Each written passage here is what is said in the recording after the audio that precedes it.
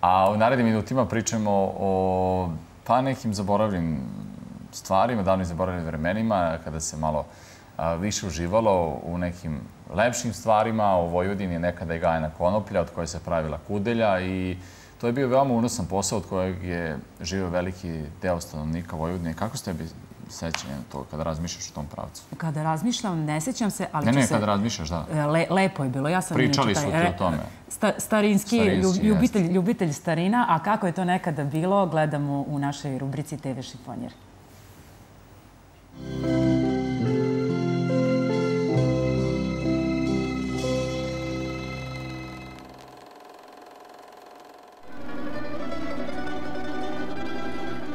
Kudelja je naziv za vlakno koje se dobija od konoplje, biljke nekada uzgajane širom Jugoslavije, a posebno u Vojvodini.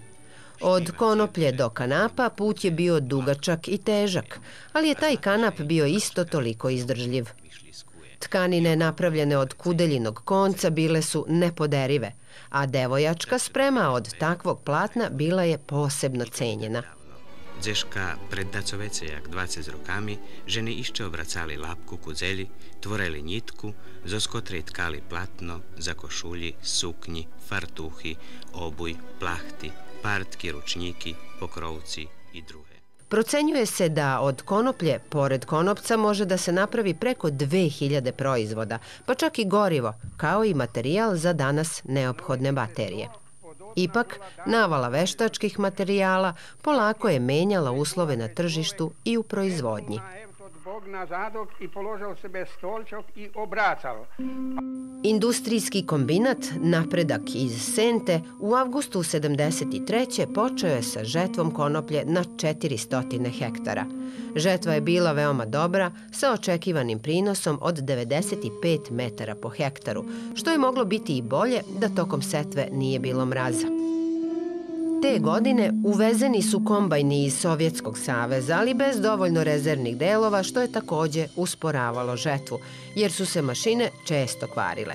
Slična situacija bila je i sa rezačima konoplja domaće proizvodnje, pošto je i za njih bilo teško doći do rezervnih delova. Tartományunkban 5 évvel ezelőtt még 20 ezer hektáron termesztettek kendert. U Vojvodini se 1969. godine konoplja gajila na preko 20.000 hektara, a pet godina kasnije na samo 5.000. Uporedo se smanjivao i broj prerađivača sa 42 na svega 12 fabrika. Ali te 74. godine potražnja za konopljom počela je ponovo da raste.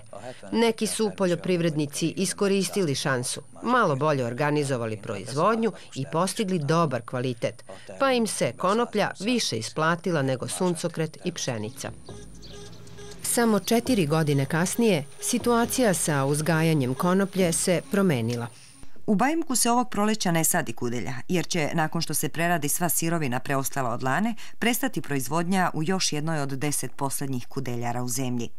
U zadružnom kombinatu ravnica već nekoliko godina razmišljaju o daljoj sudbini kudeljare, u kojoj se proizvodnja na zastarelim mašinama jedva isplati – Ne usuđuju se da svoj pogon uz ogromna ulaganja o savremene, jer je neizvesno da li bi se za fabriku veće kapaciteta mogla obezbediti potrebna količina sirovine, a uz to mnogo jeftinije uvozna kudelja ozbiljno konkuriše domaćoj. Po likvidaciji kudeljare neophodno je međutim obezbediti posao za radnike. Rešenje, vrlo povoljno za radnike, je nađeno – Zadužni kombinat Ravnica ustupit će zgradu Kudeljara i usto još 4 miliona dinara ovdašnjoj fabrici nameštaja, osnovnoj organizaciji Zrenjaninskog proizvođača nameštaja Žarko Zrenjanin, koja će ovog leta ovde početi gradnju i jedne nove proizvodne hale. U znatno boljim uslovima i osposobljeni za rad na novim mašinama, u fabrici nameštaja naći će zaposlenje i 38 radnika Kudeljare. Muzika